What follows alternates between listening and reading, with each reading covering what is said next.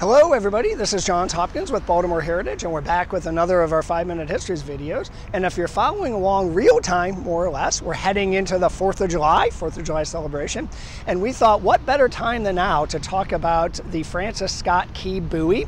Francis Scott Key, of course, the author of the what's now the national anthem. And the buoy, if you're not familiar with it, is a 3,500 pound marker that the Coast Guard sets out each year at about the spot where Key was in a boat watching the bombardment of Fort McHenry in the War of 1812 uh, when he penned his poem that went on to become the anthem. Um, uh, I am pleased. I'm down here at the Coast Guard Yard, and I'm going to be. Uh, I've been invited to get on board the Coast Guard cutter William Tate by its captain and crew to join them in the ceremony that takes place uh, each year when they put the buoy out for the season. They haul it in for the winter and put it out in the spring. Before climbing on board, though, have to say a quick thanks. We're at about the mid-year point to everybody who has donated or considering donating. Um, you are keeping these videos alive. You are keeping Baltimore heritage alive. Thank you sincerely.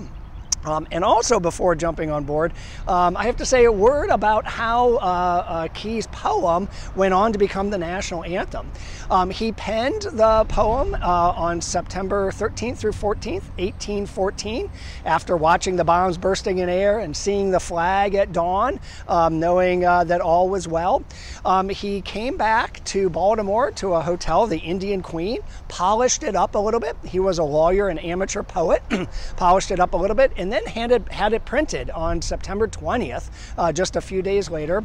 Um, uh, and he had it, he wrote the poem to be sung to the tune of a, a song called The Anacreontic or To Anacreon in Heaven. It was a song written in a gentleman's club in England, probably a drinking song that was wildly popular both in England and in America. So when the words were printed down, he could just say, Well, sing this to the tune of Anacreon in Heaven, and everybody would know how to do it. It became wildly popular almost immediately as a symbol of what we could do under our flag together in the face of adversity, helping our neighbors here in Baltimore. Um, and as the 1800s went on, military units began uh, regularly uh, singing the song at uh, parades and other ceremonies. In the late 1800s, the U.S. Navy officially adopted it as the Navy's song. Um, maybe that's because it was born out of a naval battle. Maybe it's because the Naval Academy is here in Maryland, in Annapolis, uh, but they adopted it. In 1916, President Woodrow Wilson uh, decreed that all military units should play it where appropriate at their ceremonies. He has a connection, of course, to Maryland and Baltimore, going to graduate school at Johns Hopkins University. If you're getting a theme here of Marylanders uh, inching towards the goal line of getting Key's poem adopted as our anthem, that's what's going on. And in 1918, two years later, a gentleman, uh, Congressman Linthicum, again from Maryland, proposed, uh, set a bill in Congress to uh, have the poem, the now song, the Star Spangled Banner, uh, as our anthem, and it failed. It failed not once, but five times. He kept getting reelected, kept trying, but it was only on the sixth time that it finally passed.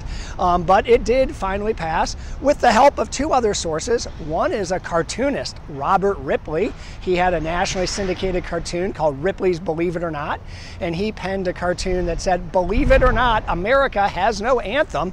That got a big uh, rouse out of folks. And then the Veterans of Foreign Wars uh, had a petition campaign, 5 million signatures coming in, urging Congress to adopt uh, the Star Spangled Banner as the national anthem. And in 1931, Congress finally did act, only after having two different singers come in and perform versions of it to make sure it wasn't too difficult for the average person to sing. Apparently it wasn't. Uh, and then in 1931, Herbert Hoover, Hoover signs the bill making it our anthem, and it has been that ever since. One final word on the buoy uh, that's going to be set in the water today. Um, it was first set out in 1914 on the 100th anniversary of the Battle of Baltimore, but pulled up after that ceremony ended. Its first, uh, first was permanently installed in 1981.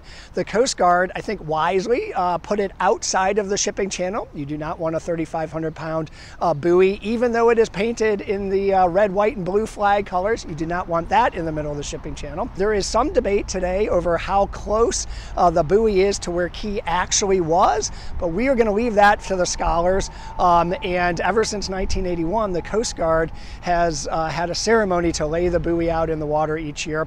And I am pleased to now join the captain and crew of the U.S. Coast Guard cutter, William Tate, uh, to get out there and be part of this uh, really extraordinary experience. All right, on board, here we go. All right, hello. Well, we made it out here. We are at the mouth of the Patapsco River, uh, right near the Key Bridge where it meets the bay. And uh, behind me is the enormous crane that is going to lift the uh, lift this big buoy off of what's called the buoy deck, uh, swing it out over the edge, and then lower it uh, into the water. Um, I'm going to go try to get a good view so we can see the uh, the action as it unfolds.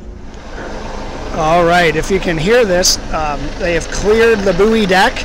Uh, there is a Coast Guard helicopter flying over, and the uh, Coast Guard crew here has uh, got this enormous strap onto the buoy and is now uh, hauling up with an, uh, an enormous crane. Um, uh, they have asked all of us non-Coast Guard crew to get clear of what they call the buoy deck, and I can see why now. This 3,500 pound enormously tall uh, buoy is is uh, going upwards, upwards, upwards. Okay, we're swinging, swinging out over the edge here.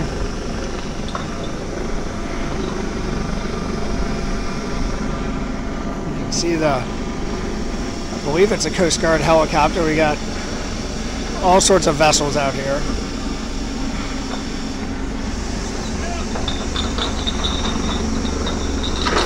here behind me we got these chains going down, sliding across the deck of the ship.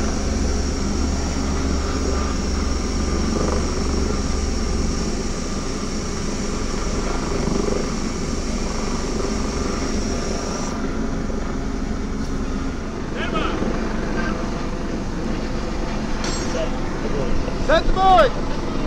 We've got the command to set the buoy.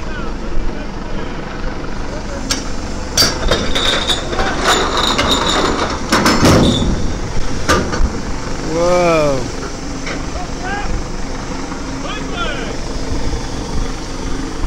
I think the buoy has successfully been set. There is nothing left holding it to the ship. And now we're playing the Star Spangled Banner, our national anthem.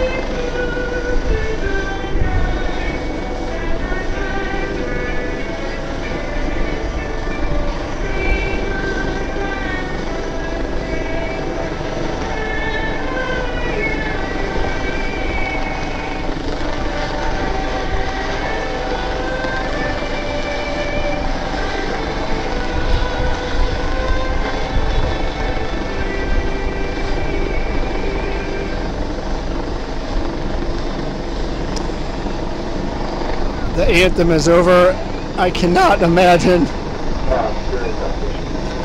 a more fitting tribute to this buoy. Happy 4th of July, everyone.